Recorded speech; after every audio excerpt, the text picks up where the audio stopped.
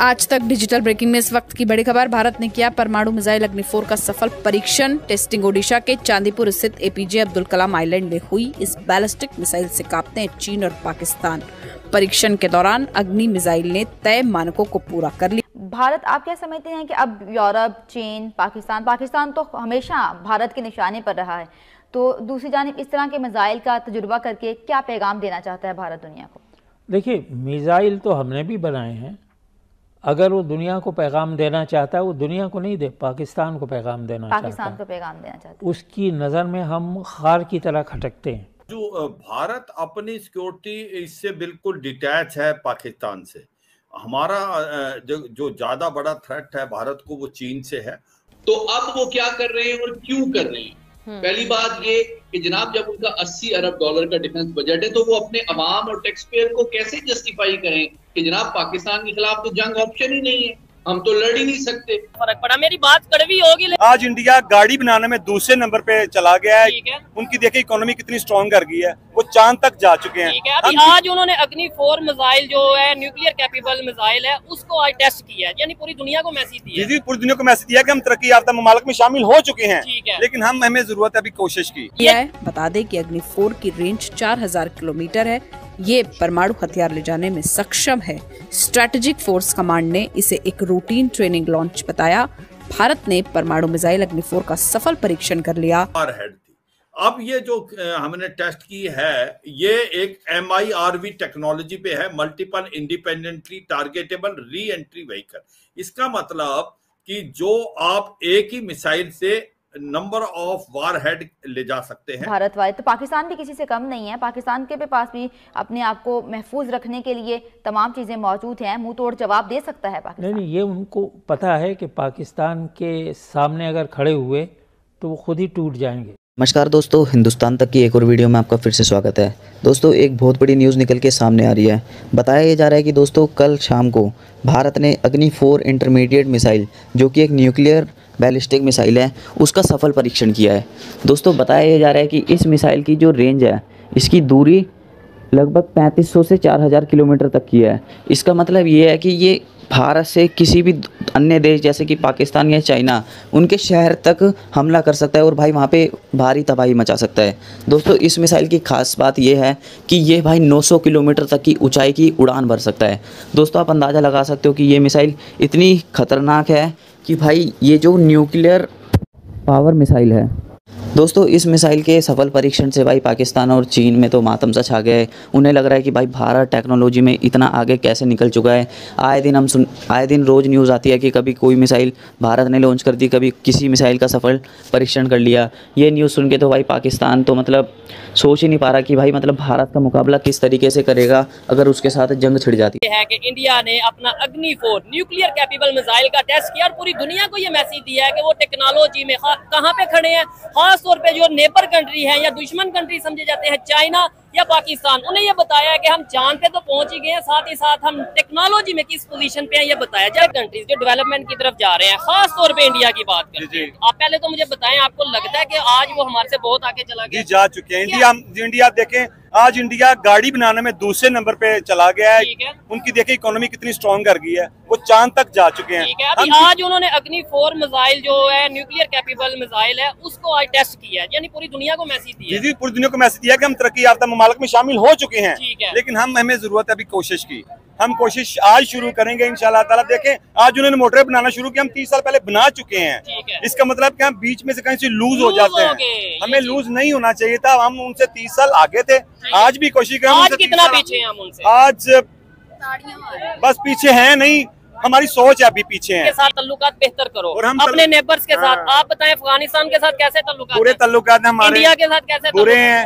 Iran के साथ कैसे रहे? हैं। सोए चाइना के कौन सा कंट्री है? चाइना में यूज़ कर रहे इसलिए अच्छे हैं। उनके हम उन्हें हमने मार्केट दी हुई है ना। वो अरबों रुपए के हमसे पैसे कमा रहे हैं इसलिए वो उन्हें वो हमसे कभी भी ताल्लुकात खराब नहीं करेंगे। ठीक है नहीं हमें तो जो बताया जाता है आयरन फ्रेंड है बहुत ही मैं जा चुका हूँ कोई आयरन फ्रेंड नहीं है वहाँ हम थर्ड पार्टी है। मुसलमानों की वहाँ पे क्या कोई है? वैल्यू नहीं है बिलीव करें मैं मैं चाइना में देखा पाकिस्तान के अवाम की मुसलमान की कोई वैल्यू नहीं है।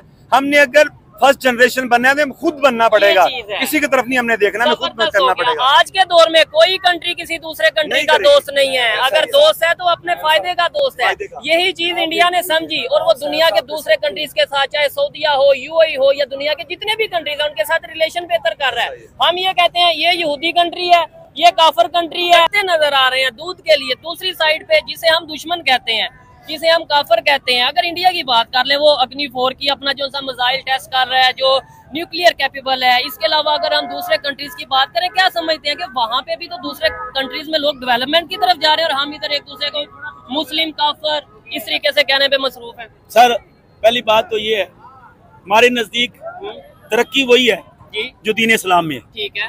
दीन इस्लाम के बगैर तरक्की नहीं है। ठीक हो गया। अब आप रास्ता भटक गए हैं हुक्मरान रास्ता भटक गए हैं तो इसमें हमारा कसूर नहीं है। हमारा मोटो आज भी है सूद हराम है सूद हराम है। नहीं इस्लाम ये भी तो कहता है ना दुनियादारी में भी आओ। क्या आप क्या कहते हैं? इस्लाम कहता है टेक्नोलॉजी में आप आगे ना जाए। जी जी ये देखिए इस्लाम तो क्या कहते हैं? आप देखें फिर मैं बात लंबी हो जाएगी। मैं तो कितने तो- साइंसदान हैं? मैंने इसलिए तो देखे आपसे वक्त लिया रिक्वेस्ट किया कि काइंडली मेरे साथ बात करें। साइंसदान है? ज़मीन की पमैश किसने की है?